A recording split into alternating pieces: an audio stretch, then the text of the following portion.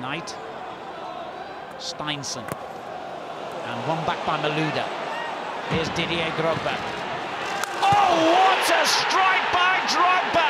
Just when the champions needed inspiration.